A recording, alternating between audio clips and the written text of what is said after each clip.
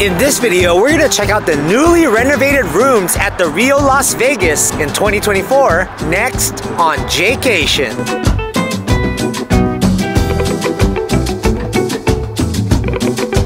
What's up, Jaycationers? Welcome back to another video here in the Las Vegas series. Tonight, we are returning to one of the older casinos that had its heyday with their carnival buffet, an amazing masquerade area that is the Rio. And the Rio is actually taken over by new management and new ownership, and it's gonna be partnered with a mix of Hyatt and a company called Dreamscape. I guess Dreamscape is their first ever hotel property that they're managing. So far, you're starting to see changes like the lights at the Rio. This is the Ipanema Tower, I believe. It's all lit up once again. It used to be dark for the longest time. The taller tower over here, we stayed uh, a couple years back. It's lit up again. So they refixed the lights on the outside and they're slowly building some new restaurants. There's a new cantina that just opened, a food hall, and I'm gonna show you all that here in this video. So let's start with the tour.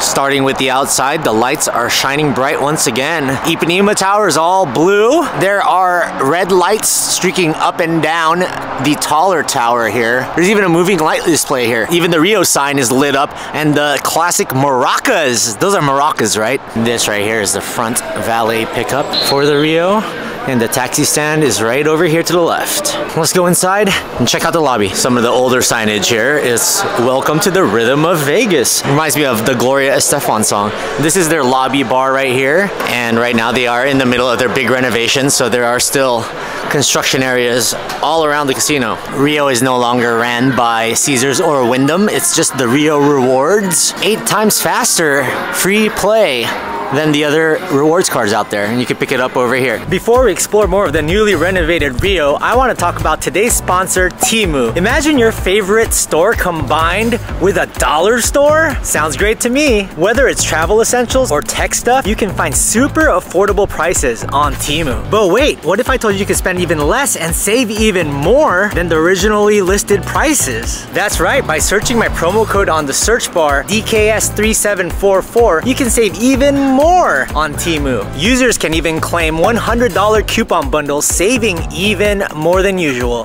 And the savings don't stop here. New app users can get even more exclusive deals. You can even get the Xiaomi Redmi Earbuds 4 for only 99 cents. Also get this, you can get this best-selling universal travel adapter for only 2 bucks. This is the best deal you're gonna find anywhere. Somebody pinch me, I must be dreaming. New Temu users, make sure to click the link down below to check out even better deals. This is their old Masquerade bar near the Masquerade Tower. The elevators are over this way. And this is where they used to have that Masquerade show. I've never been to Carnival in Rio de Janeiro, but I've been to New Orleans, and this kind of gives me a New Orleans-ish vibe. Instead of Zoltar, it's Merlin the Wizard. On with the renovation. Looks like they're starting to build up this bar here right next to Kiss World. And look at this Kiss Gene Simmons tongue wide open car right here. Every person's favorite mall snack, Wetzel's Pretzels is upstairs, right next to Chippendales and Smashburger near the Masquerade parking lot. But this is the Kiss World where you can play miniature golf. So let's check it out. There's even a arcade here with a Kiss pinball machine, some Kiss claws over here. You can get some rubber duckies. Look at all those platinum awards here. And it says rock at your own risk. And here it is. This is the miniature golf area right next to Pac-Man's arcade party. I grew up playing Tomb Raider, the original one on PS2. Comment down below, have you guys played Tomb Raider in the past? Right at the end of Carnival World is the WOW Vegas Spectacular Theater. Here is the Royal India Bistro. It's been here forever and they do have an all-you-can-eat Indian buffet. And it's right next to their comedy cellar, which is over here to the right. Some elephants greeting you here in the front. And here is Guy Fieri Fieri's El Burro Borracho. Yeah, that's right. Guy Fieri has a spot here at the Rio Las Vegas. Here's a breakfast spot, Hash House a Go-Go, originally from San Diego. And there is a place in San Diego called the Tractor Room. Here's a tractor in the front right here. It's currently closed, but It's telling you to visit the All-American Bar and Grill or the Sports Deli. Tons of awards and pictures here. And they were even on Man vs. Food because they're known for the big portions. There's Adam. Right next to Hash House A Go-Go is their fitness center. And the hours are 7 a.m. to 6 p.m. So it looks like they have a few life fitness machines and about six treadmills, some weights over here, and uh, free weights. Not much, but you have to go outside to check it out. Let me show you. And it says, when you feel like quitting, think about why you started. The next day, Siempre está horneando mi abuela y la casa se llena del olor. This is the entrance to where Hash House A Go-Go is. There's the swimming pool, which is under construction right now. And this is the door to the fitness center, just so you guys know, because it was kind of confusing. They are quickly trying to put all the renovations together. They did coerce me to come here. I did get an email from Rio Rewards, which I didn't even sign up for. It's probably because they switched from Caesars and they probably took all the client list and moved it over. And I'll tell you exactly how I was able to stay here for free. And this is the Penn and Teller Theater entrance, their box office, and the theater entrance is right here. And there is a Starbucks on this corner, which looks like it's closed right now, but it's open during the days. Right by the Ipanema Tower hallway is the All-American Bar and Grill. I think they do room service here. It is Lunar New Year, and they do have the dragon right here. Right next to registration, and the Pho Da Nang Vietnamese kitchen right over this way. If you want some fun, a cold winter night. There's also the sports deli right by the race and sports book. It's ran by William Hill, and this is where you can place your sports bets. There is the bar. It's a smaller sports book, but it works. This is the KJ Dim Sum and Seafood Chinese restaurant. Go through these Chinese entryway right here. If you want some Chinese food, come on in. It's your classic Chinese spot. The famous Carnival Buffet is no more. They have turned it into the Canteen Food Hall, and there are seven places to choose from. From a famous Philly cheesesteak spot, which I've tried before, over at the Phillies ballpark, Tony Luke's, to some chicken tenders. Ooh, Raising Cane's might have some competition. And then you got a burrito spot, burger spot, ramen, and sushi. So let's go check it out, take a little tour. The new canteen here in Rio, which used to be the World Carnival Buffet, they're taking a page out of Resorts World and they have an ordering kiosk right here. Well, two of them, and you can order from the seven places. So you got a Shogun Ramen right here, then Attaboy Burger to the right, Southland Burrito Co. and Nama Nama Sushi and Sake here in the middle. And there's the Philadelphia cheesesteak spot, Tony Luke's. Southland Burrito Company has a seating area here with the red and white awning. And then it turns into a green and white awning. And there's your soda machines. And this place right here is called Tender Crush. It's New York fried chicken and from Uptown to K-Town. So we got Kang's Kitchen Korean Barbecue right here. And there is a new Starbucks being built. Another Starbucks. And it's in the Ipanema Tower hallway area. I think this used to be the old Starbucks, but that's Kang's Kitchen right there. Let's see what's new in the renovated area. So don't get confused. The Ipanema Tower elevators, both sides, the left side and the right side, will get you to the same spot. And there it is. Discover your next flavor obsession. Seven new spots. Right next to the elevator is the new convenience store for the hotel. Check this out. They do have Rio merch. Stay Palm, Rio, Las Vegas. Even more stuff here on this wall. Looks like women's gear. And it is hot in here. They got the heater blasting. You could pick up drinks and snacks over here. And some amenities that you may need, or toiletries that you need that you might have forgot. Hallways are a bit confusing, but this is the renovated towers right Over 2,000 rooms have already been renovated. And these are new carpet designs right here. Look at this. It's like a red, green, and yellow creamish swamp looking carpet design. And I'm all the way at the very end of the hall, which is fine because it's not gonna be loud over there. Guarantee you that. It even smells like fresh paint in here. Get that scent of the newness. And they got like these lights here that are shell covered. And this is my room, 1150. You can tell brand new signage I like the signage on the door here. It says, please make sure to completely close and secure your door upon both entering and exiting. This will avoid interruptions during your stay and also is for your safety. Sometimes these doors don't close all the way and people don't pay attention and that's how you get robbed. All right, Jaycationers, it is time for the oh so popular room review. I had to last minute find a place and for some reason this week, I don't know if it's because of the knitting convention or because other conventions are in town, but prices were sky high across the strip and on a Wednesday night I couldn't find a place.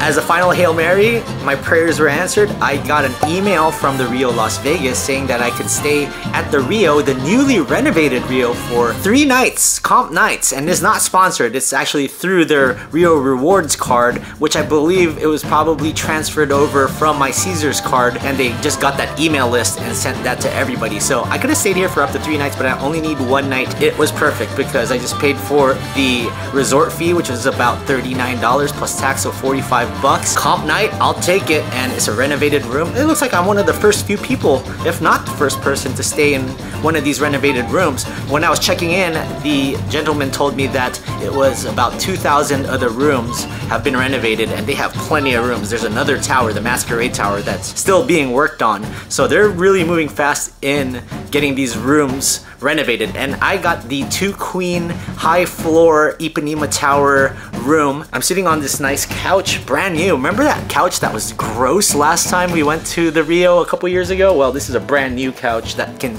eventually become gross. You got like a brown, orange, and yellowy pillow, and it's actually a pull-out sofa, which is a good thing. And the only desk we really get here is this elevated coffee table, which is fine. I'll probably eat some dinner on here a little later. It's like a little L-shaped couch you could lounge out over here, and it's a huge brand new TV. That's what I like about the Rio renovation. They have a huge brand new TV and their interface is pretty good. And to the left side is this leaf that's illuminated and it acts as a light. This is the two queen beds and the carpet I just noticed is brand new. It's brownish pattern type carpet, nice and plushy. Looks really clean because guaranteed they just installed this within the last few months. Very comfortable bed. You could tell that they changed the bed. Bed frame is leather and wood, does look brand new. So you have the queen bed right here and the queen bed right there. I took a nap over there already on that side, but I think I'm gonna sleep on this bed tonight. Giant bed stand in the middle. This is cool, this is next level. They have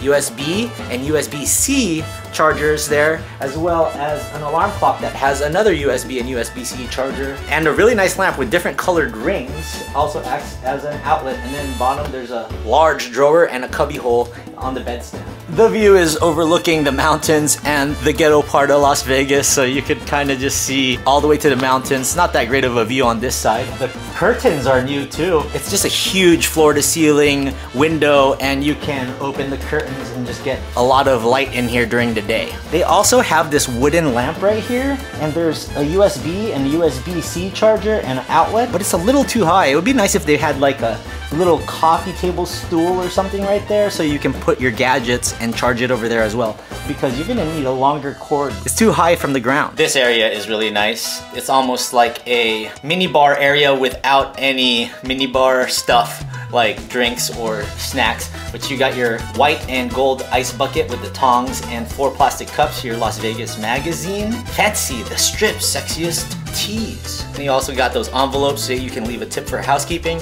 The telephone is right here as well as this mushroom looking white lamp. Some sort of tribal design here with a heart that's broken. You have this wooden full-size mirror that's really cool. It has a nice little cutout design. And like I said, the TV's got a pretty cool interface. And right below, you actually have this one drawer here. You have two shelves. You have one of these larger refrigerators. On the right side is where you can keep your community stuff. On the left side is where I'm guessing they're gonna eventually maybe put a mini bar, but I doubt it. There's so many rooms here, they're probably not gonna use that mini bar. And it's not even turned on on the left side, so you gotta use the right side. Did request a microwave. They said it's a fire hazard, so they can't bring a microwave, which sucks because hotels need a microwaves, man, or something to heat up your food. Here in the entryway, you do have the double locks and the notice to make sure your doors tightly shut. There's a door to the next room over, so if you need to get another room, they can connect if you need them to. I do like the squiggly design. They have the two lights that are surrounding this wooden mirror right here. Nice design, very cool.